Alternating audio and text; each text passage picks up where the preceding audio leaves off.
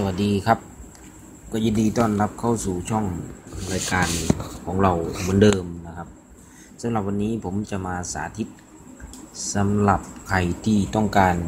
ที่จะเปลี่ยนเครื่องนะครับเปลี่ยนเครื่องเป็นเครื่องใหม่ ในขณะที่คุณใช้แอปพลิเคชันของ K Mobile Banking นะครับ วิธีการเปลี่ยนเครื่อง เขาต้องทำยังไงบ้างนะครับ ก็คือขั้นตอนที่ 1 คุณก็ต้องไปโหลดแอปพลิเคชัน ใส่เข้ามาในเครื่องใหม่ของคุณนะครับ ขั้นตอนที่ 2 ก็คือนำซิมโทรศัพท์มือถือที่ผูกเบอร์กับธนาคารนะครับ ใส่เข้าไป แล้วก็ให้ทำการเปิดนะครับ เปิดอินเทอร์เน็ตจากเบอร์ของซิมการ์ดนะครับ ที่คุณผูกกับธนาคารกสิกรนะครับ ถ้าคุณใช้ Wi-Fi มันจะไม่ได้นะครับ ต้องเปิดอินเทอร์เน็ตจากซิมการ์ด เพราะว่ามันเป็นการเปลี่ยนเครื่อง มันจะเป็นการ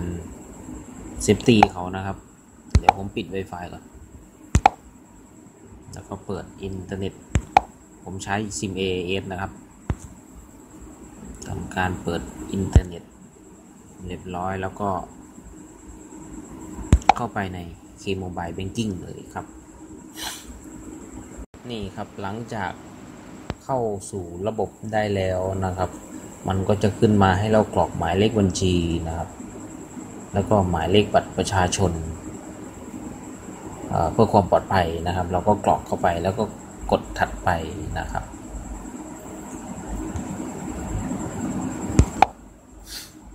หลังจากใส่หมายเลขบัญชีนะครับ แล้วก็ใส่หมายเลขบัตรประชาชนเสร็จเรียบร้อยนะครับ ก็ จะเข้ามาสู่ใส่รหัสผ่านนะครับ ก็ใส่รหัสผ่านเดิมที่เราใช้ใช้กันอยู่ในเครื่องเดิมนะครับ เราก็ใส่ไปครับ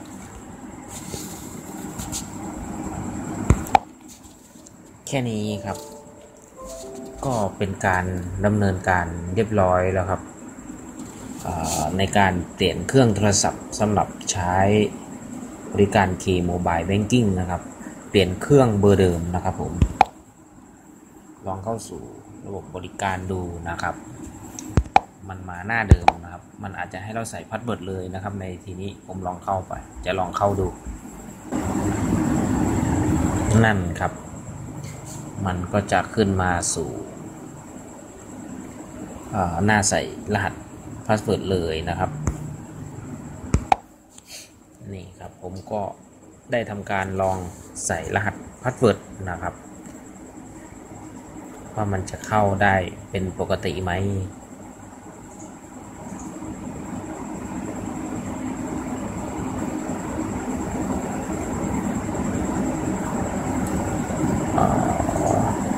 คุณสมบัติใหม่ ท่านสามารถใช้เคพัดผ่าน Wi-Fi ได้แล้ววันนี้เพื่อความปลอดภัยระบบอนุญาตให้ทำรายการได้ เพราะรายการบทที่บันทึกไว้เท่านั้น รับทราบอันนี้เป็นการแจ้งเตือนนะครับ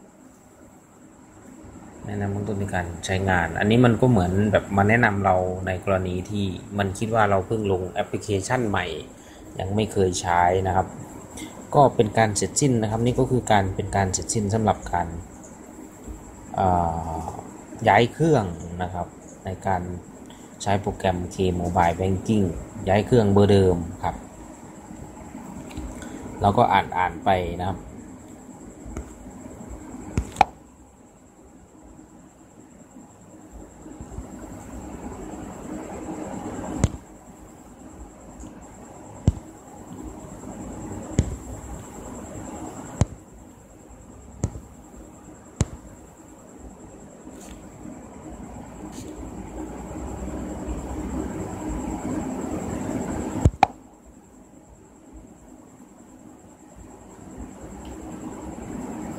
เรียบร้อยครับ ก็เข้าสู่ระบบได้